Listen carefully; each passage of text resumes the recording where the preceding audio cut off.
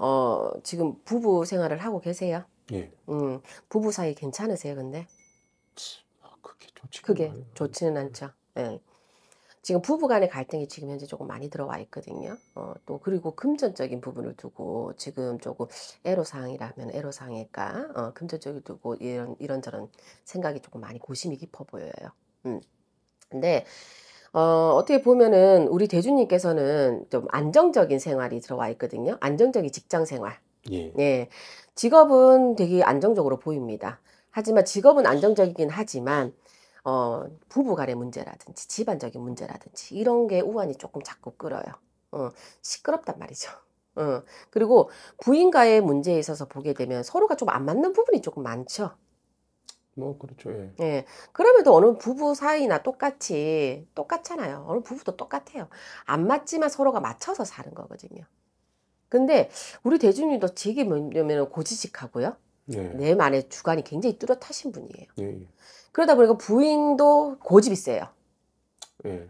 그러다 보니까 서로가 내 주장이 원체 강하다 보니까 다툼이 잦아요. 어, 솔직히 한 4, 5년 전에는 살까 뭐안 살까 고민도 했던 걸로 보여요. 예. 예. 이혼하니 많이 진짜 고심을 많이 했던 걸로 보여요. 지금도 고심죠. 네. 그 고심을 하고 그때 비해서는 조금 그래도 조금 잠잠해진 격입니다. 잠잠해진 격이지만 서로 서로가 그래도 부부가 아웅다웅 하면서도 서로가 이제 뭐냐면 의논도 하고 어 뭐 어떤 일이 발생하면 같이 이제 풀어도 가고 어 조금 이제 해야 되노 어 대면 대화도 하고 이래야 되는데 싸울 땐 싸우더라도 이 두 부부는 그거 자체가 안 돼요. 서로가 남남인 것 같아요. 부딪히면 싸워야 되니까. 아니에요.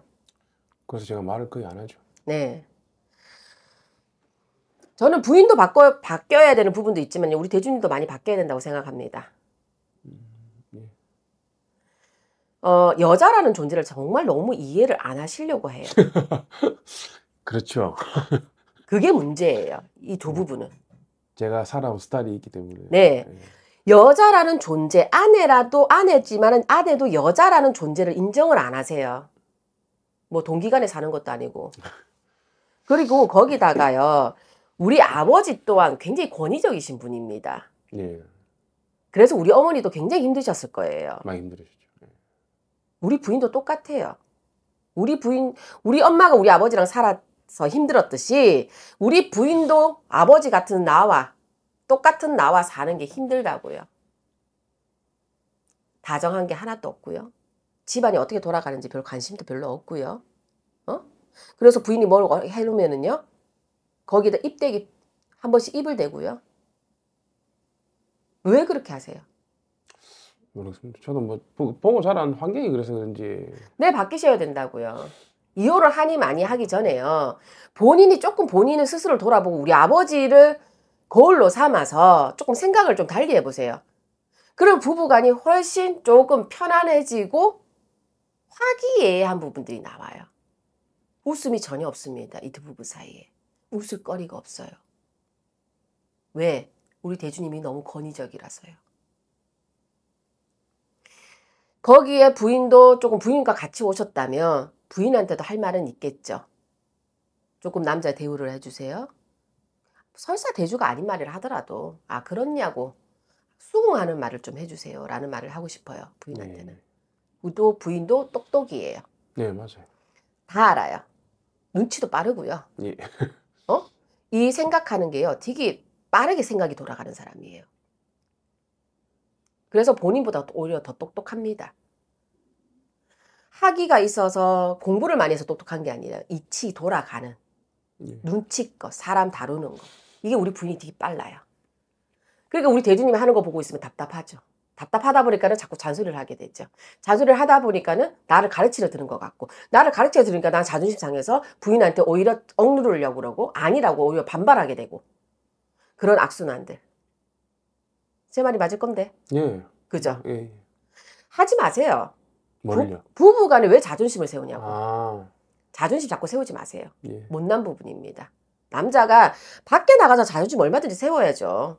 근데 가족한테 부모, 형제, 자식, 특히나 부인한테 여자랍시고 자존심 세워봤자 그건 정말 못난 거예요. 하실 필요 없습니다. 오히려 아껴주고 밖에 나가서는 내가 사내 새끼라고 내세울 지연적 집에 오면 바보 온달이 돼야 되는 거예요. 그게 진정한 사내입니다. 남자라면. 그게 제일 어렵기 때문에 어려운 부분을 하- 하내는 사람이 진정한 승자고 사내죠. 부부 사이에 정말 편하게 사는 사람들 보면 남자가 바보 온달이에요. 그 집은요 뭐, 웃음소리가 끊이질 않아요. 그렇죠. 뭐 대부분 그렇죠. 네. 그 이치를 깨, 깨우치셔야 돼요. 그래서 우리 살이 못 살이 우리 이혼할까 말까 이거 묻지 마시고요. 우리 대주님이 먼저 바뀌어보세요. 그러면요 우리 부인도 분명히 바뀔 거고요. 넘지 말아야 할 선을 많이 넘었어요. 이 부부도. 넘지 말아야 할 선을 많이 넘긴 했지만 그래도 다시 다시 한번 생각을 해보세요. 왜? 그렇다 해서 부인이요 유책 배우자라든지요 정말 잘못한 부분이 있는 건 아닙니다. 저는 제가 봤을 때는요 부인이 나름대로 애들도 소중하게 잘 키우고요. 자기 위치에서는요, 막 정스럽게, 애사스럽게까지는 아니더라도 부모한테도 그렇고요. 자기 위치에서 할 수 있는 최선이라든지 책임은 다한 걸로 보이거든요. 안 그래요? 아 예. 뭐 그거는 동의. 예. 동의하시죠? 예. 그렇기 때문에 그런 그런 게 아니라면 유책 배우자가 있을 정도까지가 아니라면 성격이 안 맞아서 그렇다면 부인이 바뀌길 바라지 마시고 본인이 먼저 바뀌어 보시면 부인도 분명히 바뀌어서 따라올 거라는 거죠. 저는 그러셨으면 좋겠어요. 이혼이 이- 왜 그러냐면 이 두 부부가 이혼을 하게 되면 손, 손실이 갈 게 많습니다. 우리 대주님이 더 힘들어요. 거기다가 지금 애들 있죠. 아니요. 애들은 없어요. 예. 어, 거기다가 두 부부가 보게 되면은요, 서로가 상생할 수 있는 부분들이 속에 있는 내재되어 있는 부분들이 되게 많아요. 많은데도 불구하고 이거를 우리가 성격 차이라는 이유 때문에 써먹지를 못하는 게 너무 많죠. 그래서 저는 조금 더 노력해 보시는 게 어떨까. 그래서 정말 내가 노력했는데도 불구하고 아 노력해도 나는 노력도 못하겠어요. 힘들어 한다 그러면 이혼이 도장이 찍혀지는 시기가 내년 하반기 내후년이 돼야 될 겁니다. 지금 당장은 이혼 도장은 지키기는 힘들어요. 그리고 저 하나 물어볼게요. 음, 두 사람이 예. 초혼으로 만나셨어요? 아니요. 집사람은 아니 재혼입니다. 재혼이죠. 그죠? 예. 그런 부분들 때문에 지기 조금 힘들어 보여요. 이혼이란 과정이. 이 두 부부를 들여다보게 되면 두 사람 다 완전 초혼으로 보이지가 않거든요. 어느 누구 한 사람은 재혼으로 보인단 말이에요. 과거가 있어 보인다고. 그러다 보니까는 내 과거로 인해서 또다시 반복되지 않, 않아야 된다는 이런 내 나만의 고정관념이 되게 강해 보여요. 그게 부인이 재혼이라면 부인이 그렇겠죠. 그렇죠. 네, 그래서 어떻게든 이 결혼 생활을 유지하고자 하는 그런 힘은 되게 부인한테서 강합니다. 그래서 조금 저는 마음을 넓게 쓰시고 조금 감싸 보시는 건 어떨까?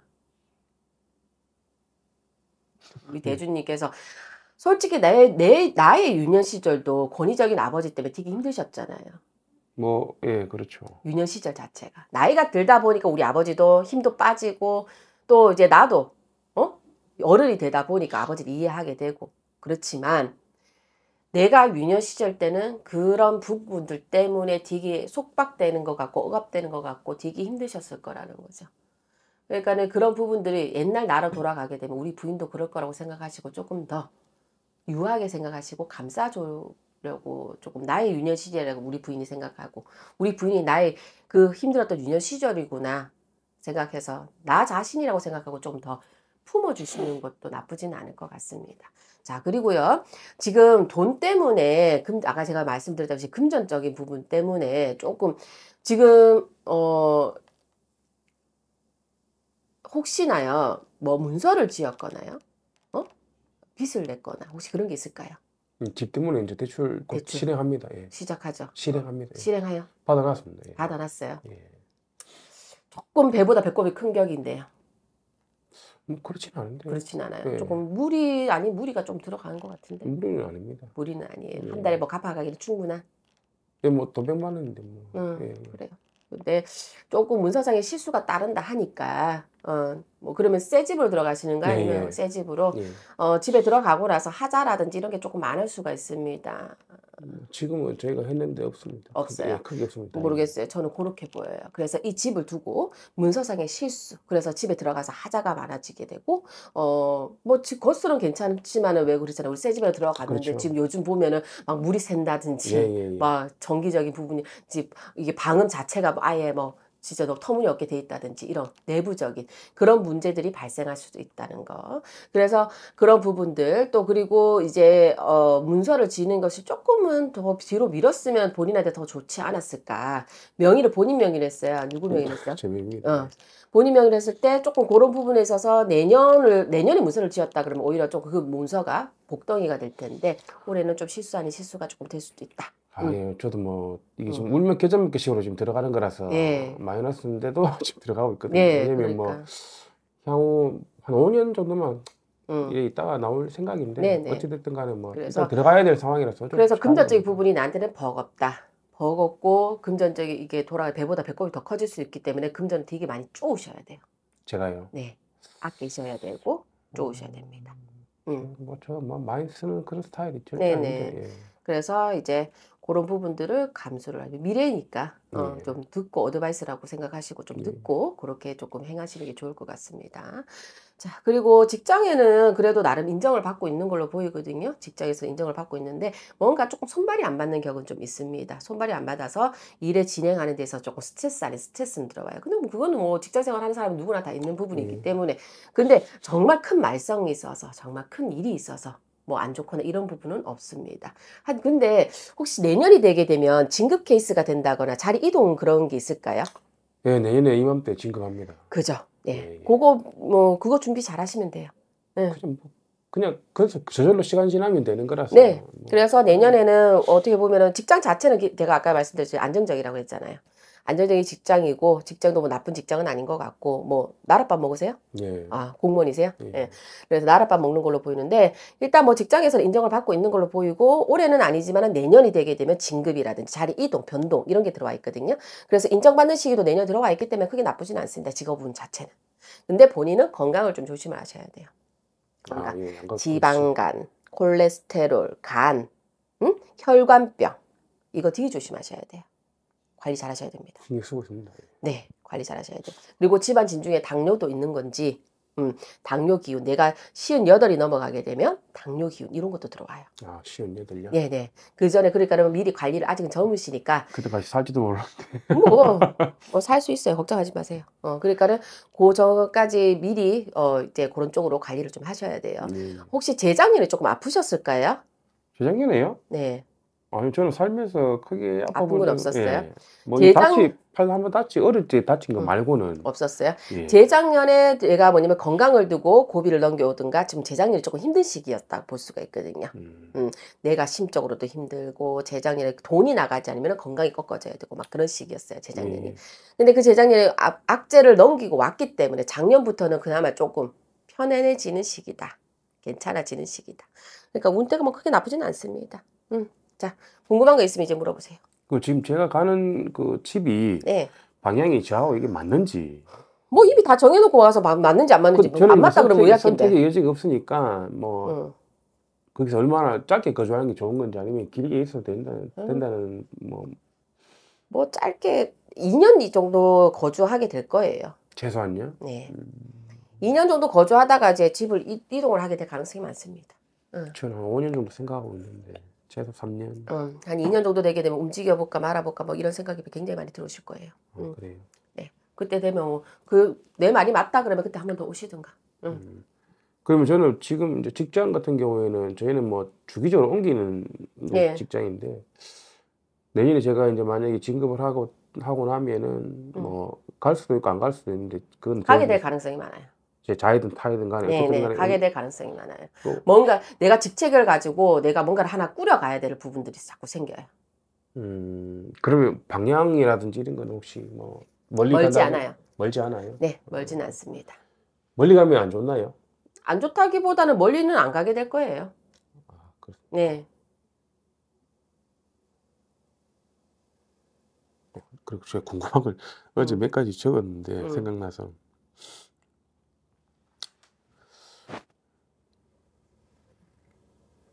혹시 자영업 해도 될까? 아니요, 하지 마세요. 아예 안 됩니까? 그냥 나라밥 먹는 게 본인한테는 그게 팔자에 맞아요. 그럼 제가 좀 일찍 그만두고 아니요, 하지 마세요. 어, 안 되나요? 네, 그런 게 없습니까? 아예. 없습니다. 음. 주변에 그러면 제가 뭐 조심해야 되는 거나 뭐 크게는 없어요. 부부 관계 말고는. 뭐, 뭐 이때까지 뭐 잘 해왔고 인간관계에 있어서 별로 크게 없어요. 본인은 인간관계도 뭐 나름 음, 최선까지는 아니지만 거기 거기서 내 직책에 맞게끔 또 지인과의 관계에서는 내 본분에 맞게끔 뭐 특별히 티격이 날 게 별로 없거든요. 근데 부부 관계에 있어서는 본인 자체가 어, 내 사람이고 내가 감싸야 되는 사람이라기보다는 이게 뭐냐면 책임감은 있지만 응? 네가 나를 맞춰줘야지 이런 게 너무 많아요. 그걸 버리셔야 돼요. 근데 그게 쉽지가 내가 맞춰줘야 된다고 생각하셔야 되는데 여자이고 연약한 존재이고 어? 배려를 해줘야 되는 존재이고 이렇게 생각을 하셔야 되는데 여자이기 때문에 네가 나한테 맞춰야지 가장한테 맞춰야지 이런 권위 의식이 너무 많으세요. 그거 버리셔야 돼. 별난 여자 이 와이프는 그 별난 축에도 안 들어요. 진짜 별난 여자 만났으면은 혹시 다른 여자가 있거나 그렇지는 않습니까? 없습니다. 없습니까? 네. 죽을 때까지 그냥 힘들어요. 음, 계속 네. 이 재혼한 여자를 안 만났으면요, 본인이 진짜 이혼해가지고 본인이 재혼하게 될 가능성이. 팔자에 뭐 어 팔자에 있잖아요. 여복이 없어서가 아니라 여복인데 여보, 여자 복이 있는데도 불구하고 여복인지 몰라요 본인은. 우리 아버지가 그렇게 사셨듯이. 그렇죠. 우리 어머니가 참 복덩이인데 예, 예. 우리 아버지가 그 복덩이 인정 안 하고 사셨잖아요. 자기 잘난 맛에 사셨잖아요. 본인 똑같이 그렇게 사셨을 거라고. 그렇게 살고 있고. 그런 것 같습니다. 우리 엄마 같은 여자이길 바라지를 마세요. 우리 엄마가 아, 좀 그래 저는 그런 게 우리 있거든요. 사실. 그러니까 우리 엄마 이길 바라지 말라는 게 우리 엄마가 그렇게 고생하고 그런 고생하고 살 여자가 없습니다. 그렇죠. 세월이 그래 했기 때문에 우리 엄마는 그렇게 살았 것 뿐이에요. 혹시 저희 어머니가 일찍 좀 뭐 돌아가신다든지 아니요. 그런 건 네, 없습니까? 잔병 치료는 하시는 분이긴 하죠. 여기저기 아프다는 소리를 예, 하시지만 뭐큰 병은 없으세요. 과병이지. 알겠습니다. 그러면 저는 혹시 제가 만약에 다음에 이사를 또 하게 된다면은 네. 뭐 어디 가까운 데 있어야 됩니까? 지역이 지금 있는 지역에서 아니면 음. 뭐다 저타 시를 뭐 시를 옮기게 될 가능성이 많아요. 이사를 가게 네, 네. 가더라도 네. 뭐 그거는 그때 대보소 대봐서. 응, 해봐서 그렇죠. 알겠습니다.